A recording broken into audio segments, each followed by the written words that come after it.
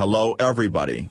Welcome in exclusive news channel, Jennifer Lopez and Alex Rodriguez and their European getaway with ridiculously cute PDA pics. Jennifer Lopez and Alex Rodriguez ended their 2017 baecation with the bang. The couple has been adorably enjoying themselves during their romantic getaway in Paris, France, and on Monday, J.Lo shared more Instagram pics of their time together. Their glamorous outing included lunch at the Louvre Museum. Lopez later shared a sweet photo of herself in Rodriguez's arms. Hash Baecation 2017, she captioned the latest set of snaps.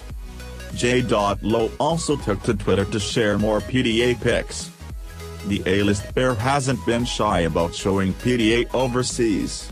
Lopez, 47, and Rodriguez, 41 were spotted holding hands in Paris on Sunday, where the Love Don't Cost the Thing singer showed off her toned ABS in a crop top. Earlier, they were snapped taking pictures with the Louvre Pyramid, and looking more in love than ever. A source close to the couple tells us the two are still going strong and are having so much fun together. Things have obviously heated up quickly but it all makes sense.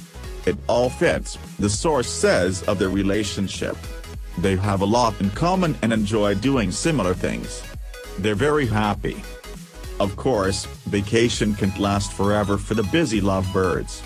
By Monday, Lopez was back to work on the Shades of Blue set in Brooklyn, New York.